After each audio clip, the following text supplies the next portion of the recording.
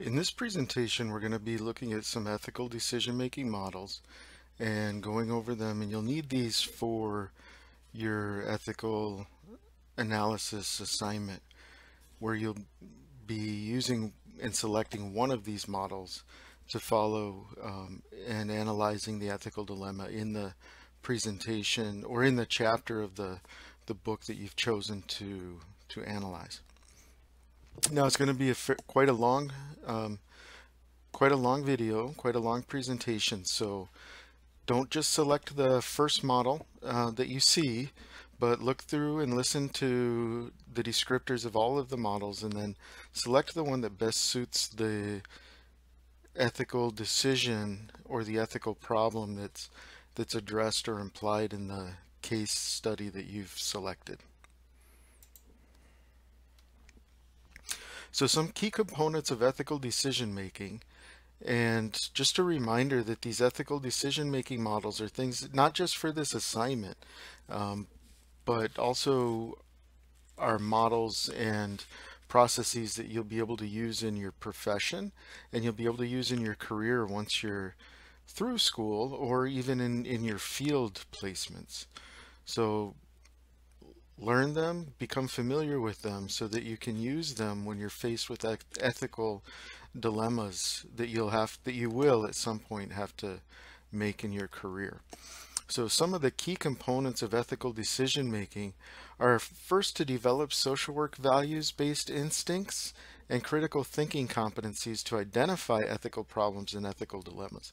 So the first challenge is to be able to identify where there is an ethical dilemma or an ethical problem that you need to to evaluate. Um, and you'll do that by becoming familiar with the Code of Ethics wherever you're located. Um, in the US, that's the NASW uh, Code of Ethics. And to and over time, and as you become more spend more time in the profession and in practice, you'll you'll start to develop these instincts, or you you should be developing instincts um, as your knowledge and experience accumulates that allow you to identify when these problems or dilemmas uh, arise.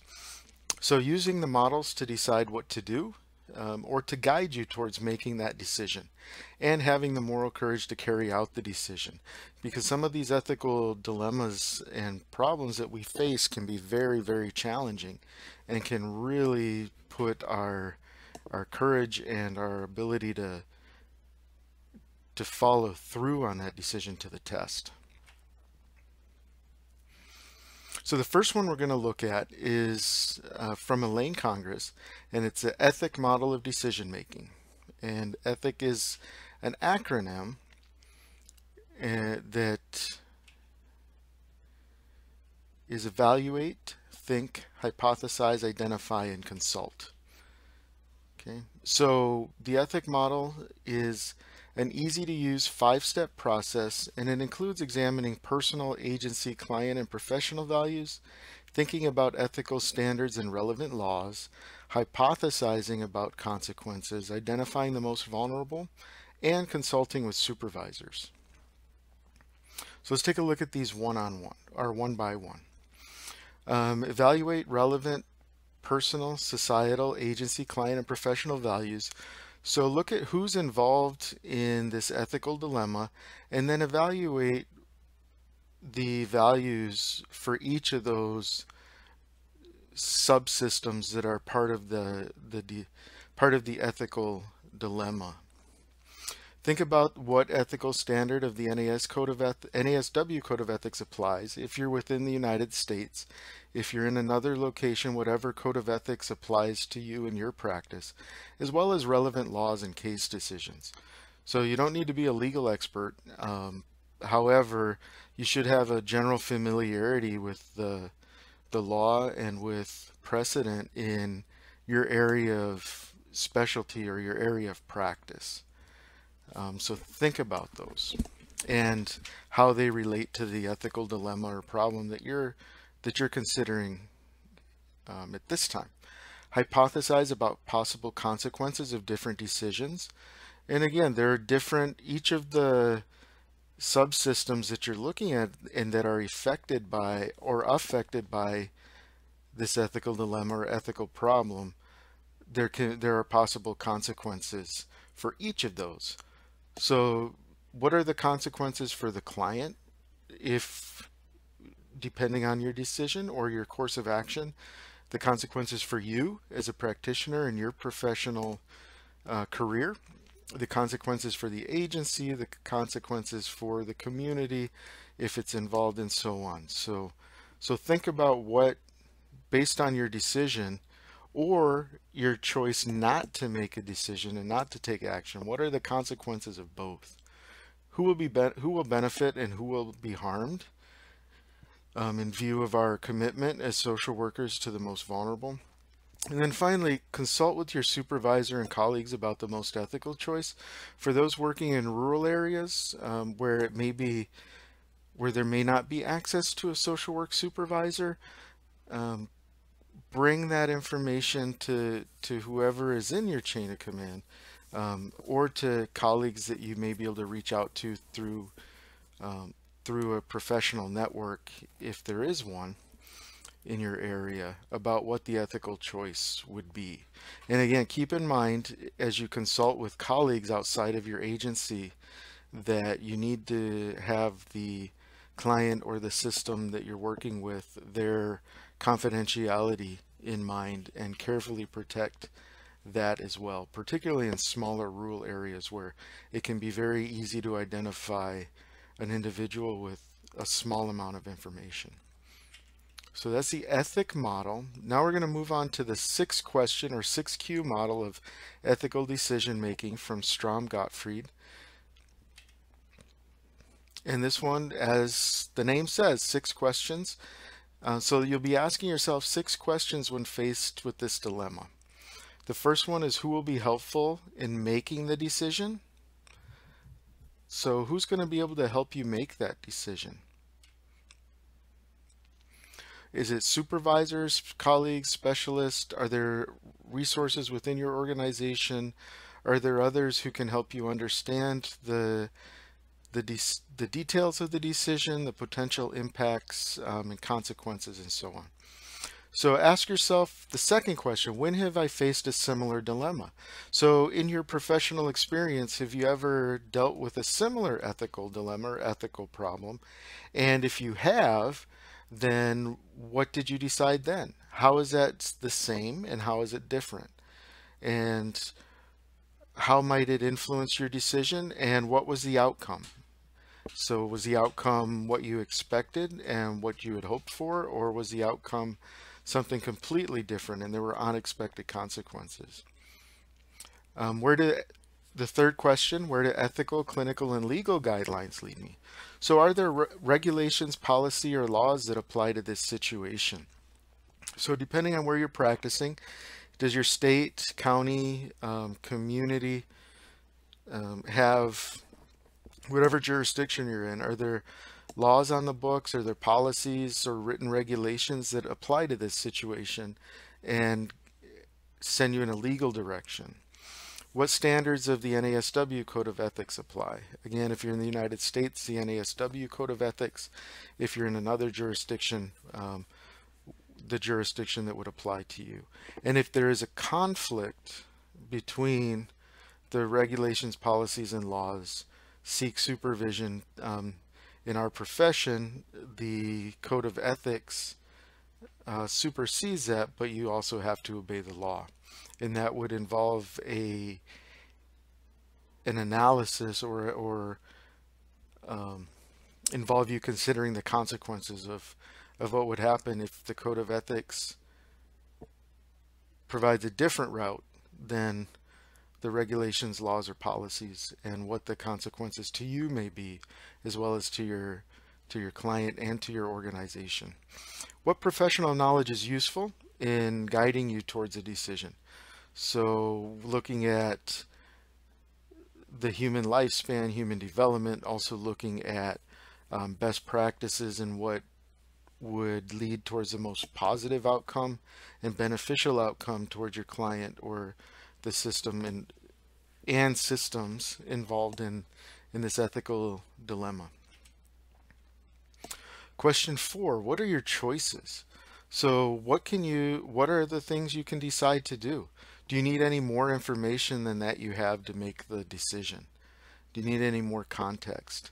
And again, what are alternative decisions you could make? And what are the consequences? And how urgent is the situation? If it's a life-threatening situation and someone's safety is at risk, then it's an extremely urgent situation. It's going to require you to make a choice and a decision quite quickly. If it's um, less urgent, then you have time to consider more the consequences, the alternatives, and, and look at the information and gather additional information. Um, it may be a multi-step decision process where you have to take immediate action to address the urgency of an immediate situation where someone's safety is at risk and then you have that will give you some time to consider carefully consider the the following steps and the following actions that you need to make to address this uh, ethical dilemma. So the fifth question is why are you choosing this course of action? So what's your motivation in selecting that course of action?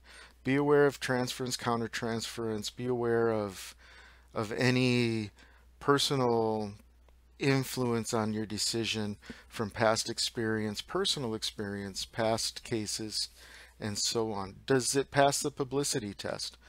Um, this it, does it pass the golden rule test, the quote unquote smell test, right? Does does the decision or your course of action does it feel right, right? Um, you can consult a mentor or supervisor to to ask their opinion on your chosen course of action. Um, and so the last question here in this model is how should I enact my decision? What's the process? It may be that there's regulation and law that that outlines and, and dictates what the process is, such as reporting a case to Child Protective Services or Adult Protective Services. What social work knowledge and skills will you need to use? And wh where and how do you document the decision? So following your agency's protocol and legal requirements for documentation, but also keeping in mind the confidentiality and protecting your clients when when documenting your decisions and who has and will have access to to the documentation that you're writing. Okay, the next model we're going to talk about is the American Counseling Association approach to ethical decision making. Um, this comes from Forester Miller and um, Van Hoose um, in Paradise, um, and is a has been around for for quite a while. And this is from the American Counseling Association. We'll look at it, um, apply it where it can be applied to social work. So when counselors are faced with ethical dilemmas that are difficult to resolve, they're expected to engage in a carefully considered ethical decision-making process. Reasonable differences of opinion of opinion can and do exist among counselors with respect to the ways in which values, ethical principles, and ethical standards would be applied when they con conflict. While there is no specific ethical decision-making model that is most effective, counselors are expected to be familiar with a credible model of decision-making that can bear public scrutiny and its application. So this focuses, because it is from a counselor's uh, association, applies primarily to private practice, micro-level social work practice, but can also be applied to, to larger systems. So there are seven steps in the ACA approach to decision making. Um, identify the problem, apply the code of ethics, the one that applies to you. For us as social workers, in the U.S., it's the National Association of Social Workers Code of Ethics. Determine the nature of the dimensions of the dilemma, generate potential courses of action, consider the potential consequences of all of your options, and then choose a course of action. Evaluate the course of action afterwards and then implement it. So, so your seven basic steps. Um, it's important to realize different professionals may implement different courses of action in the same situation. So ethical decision making is you have guidelines and you have what you the best course of action, but the best course of action is is sometimes subjective. And so different professionals can interpret things differently. And often there's not one right answer in a complex uh, dilemma or complex problem. If you follow a systematic model and you can give a professional explanation, so if you follow the model, you can you'll be able to provide a professional explanation for the course of action you chose and then make sure to document um, in some way or in an appropriate location how you arrived at the decision that you made because if it comes into under question or under scrutiny at a future date, then you're going to want to be very, very clearly able to articulate why you chose the course of action you chose. And that protects your clients and protects you as a, as a professional. Uh, from 1979, a counselor is probably acting in an ethically responsible way concerning a client if he or she has maintained personal and professional honesty, has the best interests of the client, has made that decision without malice or personal gain, and can justify their actions as the best judgment of what should be done based on the current state of the profession. So when you're looking at the code of ethics from the NASW, for example, you want to make sure that that you're utilizing the most recent version of the Code of Ethics. So Reamer and Conrad, this is a common one in, used in in social work and essential steps for ethical problem solving. So the Reamer model of decision making, there are six steps that we'll go through one by one. So first, you want to determine whether there is an ethical issue or dilemma. So is there is this an ethical dilemma or is it not? And then is there a conflict of values, of rights, of professional responsibilities? So if there is, then you want to identify the key values and the principles involved. So what meaning and limitations are attached to these competing values? Then you want to rank those which in your professional judgment are most relevant to the issue or dilemma? And what reasons can you provide for prioritizing um, one over another? Develop an action plan consistent with the ethical priorities that have been determined as central to the dilemma. So once you've ranked them, develop an action plan that addresses those more important ones or those that you've determined are more relevant first. Have you conferred with clients, colleagues, um, again, as appropriate, about the risks and consequences and alternative courses of action? Um, and how, can you support or justify your plan with the principles and values on which the plan's based? So again, it's important that you are able to provide clear support for the plan that you choose when, once you've identified this ethical dilemma. Then implement your plan.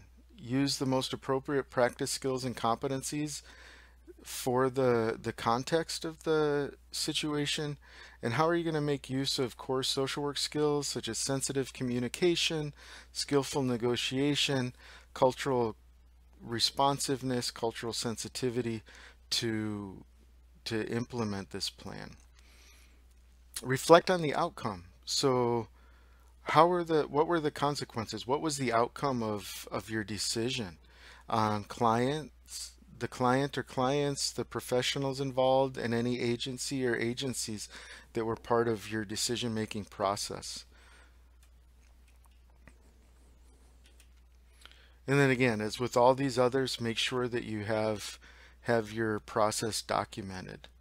Um, some additional things to be aware of with the Reamer model is there may be an issue of self-determination of an adolescent versus the well-being of the family. So and also when working with minors, there's the issue of self-determination versus um, emancipation or the the legal status of a of a minor within a family system and within society as a whole. Confidentiality. So rarely is confidential information held in absolute secrecy. However, decisions about access by third parties are worked out with the client. So the client still needs to, it, and there are cases and, you know, as mandatory reporters, there are instances where we're where we are required to break confidentiality. However, typically sharing uh, confidential information and sensitive information about a client needs to be approved by the client. Um, it needs to be included in either in the rele a release of information that they will sign to authorize the sharing of that content. Um, so what if your client's right to choose a beneficial course of action brings hardship or harm to others who would be affected? That's, uh, that's something you need to be prepared to address and, and be aware of.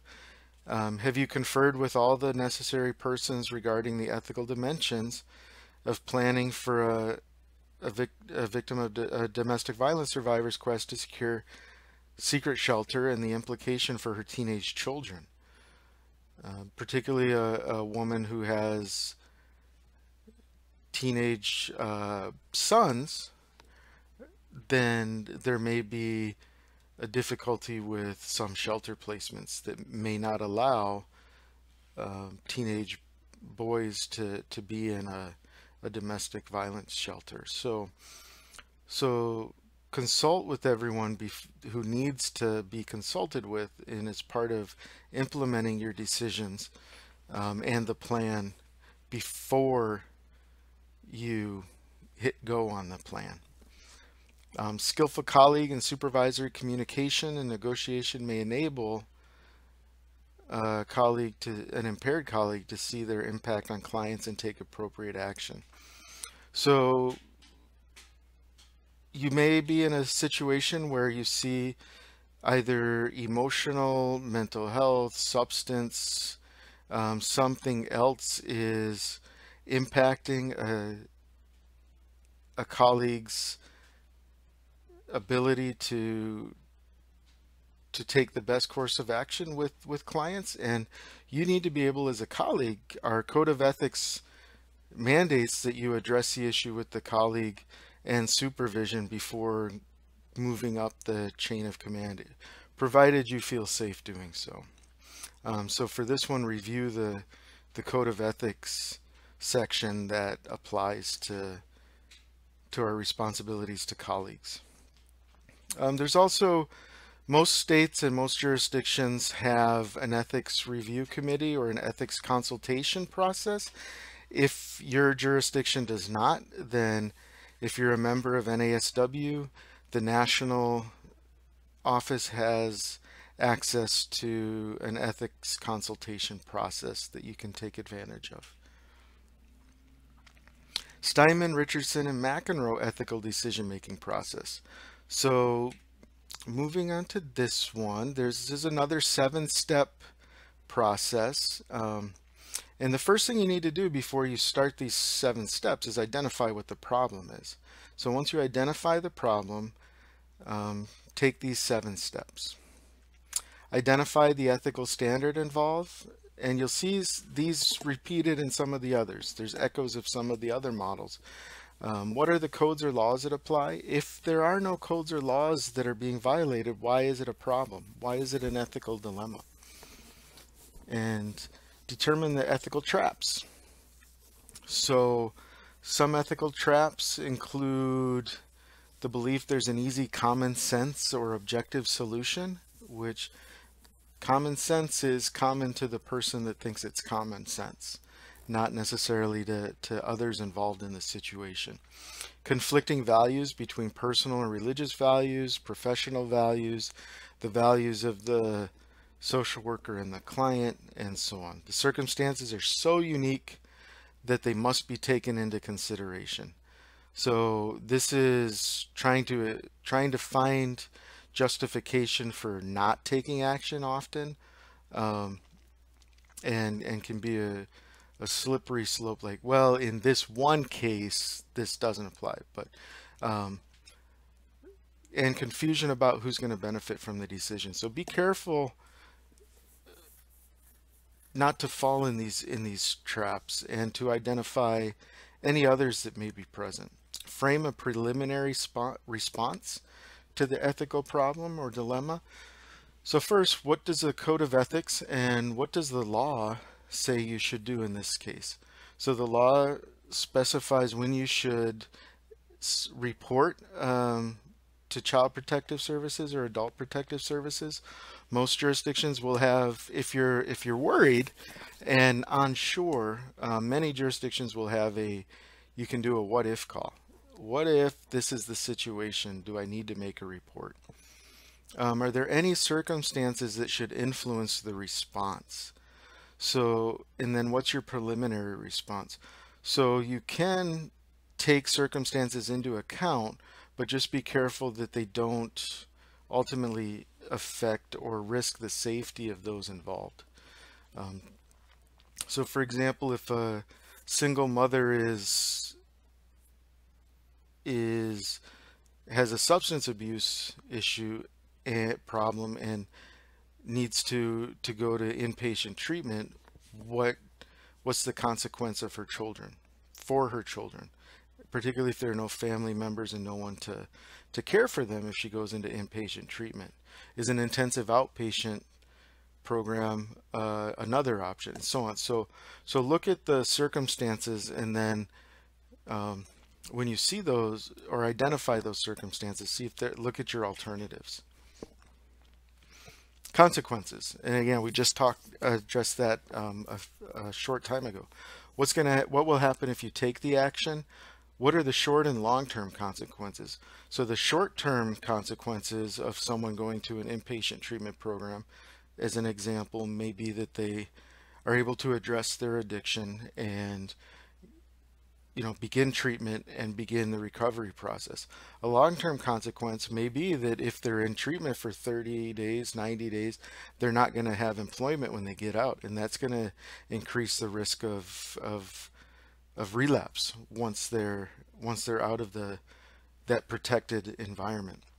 Any unintended consequences that you you can identify, um, and are the consequences ethically defensible. So if there are going to be consequences to the course of action to address the initial um, ethical dilemma, are the consequences ethical? Can you defend what those consequences are?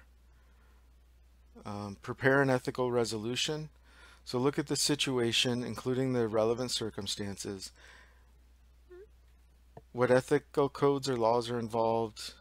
What do those codes or laws suggest you do? Or tell you that you do? Um, and if you've consulted with colleagues, supervisors, ethic boards, um, what is their suggestion? And the consequences of taking the action on the client, on yourself, on your employer, others in the community. And so taking all of these considerations into mind, make your proposal. And this is how we will resolve our ethical dilemma. Give feedback, discuss your, your decision with your supervisor or respective peer. If there are legal issues involved, um, if you're in an agency, talk to them about um, if they have a lawyer and talking to their lawyer um, or finding an attorney. There is access again through NASW to legal consultation um, if you're an NASW member and use feedback to amend your resolution, amend your decision as needed. And once you've followed all of this, take action. The next model we're going to look at is the Dolgoff, Loewenberg, and Harrington, a general decision-making model. So Dolgoff has said ethical decision making is far too complex to permit the development of a simple how-to problem-solving model. Model is a permissible didactic device as long as it is understood that in real life every decision is preceded and followed by other decisions, many of which have a direct bearing on the matter under consideration. So this is the most, if you've noticed, we've gone from the, the more direct, basic um, models to, to this one, which is the most complex and involved. So while I would not recommend using this model for this for your ethics assignment for your court for this course, I would uh, suggest that you do be familiar with it and have it in mind as an option later in your career. So still go through, look at this, and if you choose to, to use this one, that is that's fine. So this is an 11 step process. Um, and we'll go through those one at a time.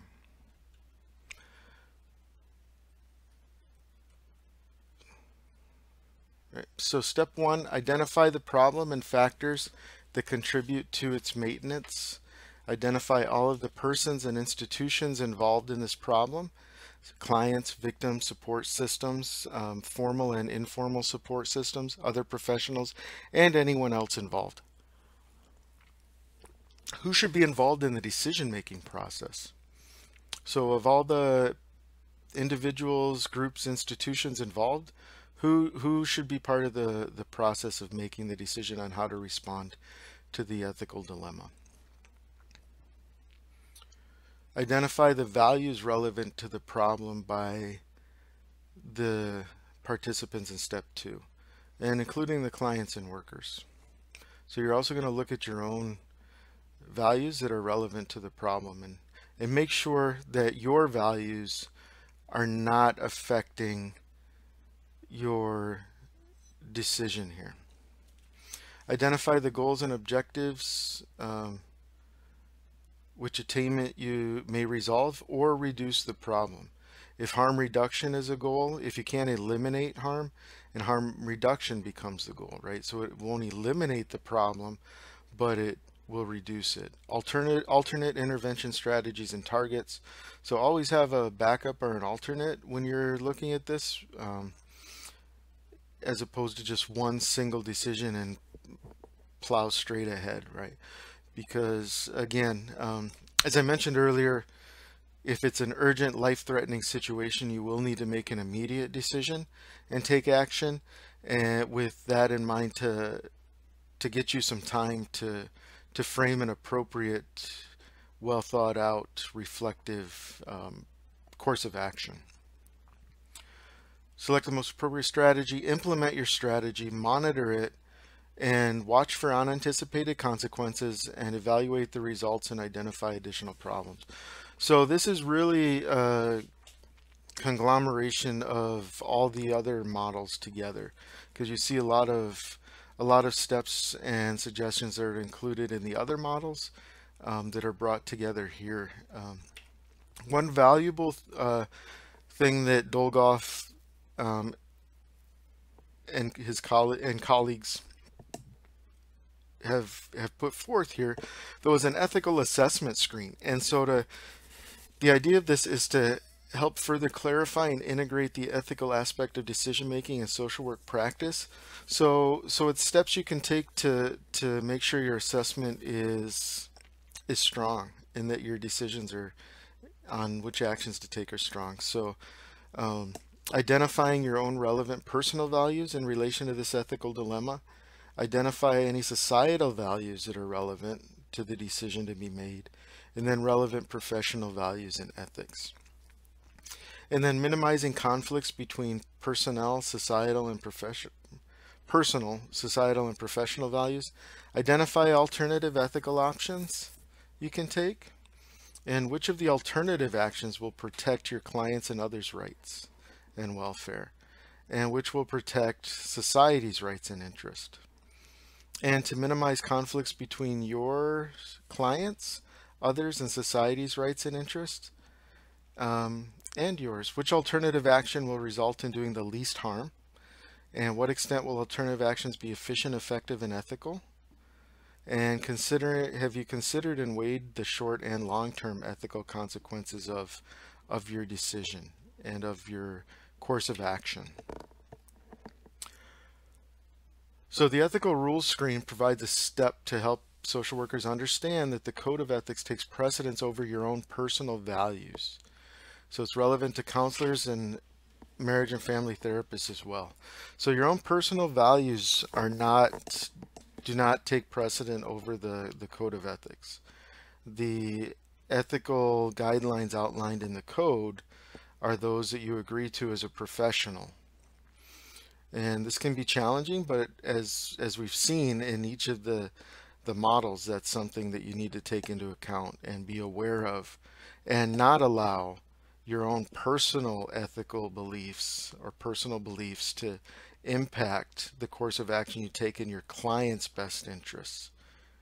So social worker has done an ethical self-assessment, such as the one provided ab above in the previous slide, will have a better appreciation of the values that are personal values versus those that are your professional values.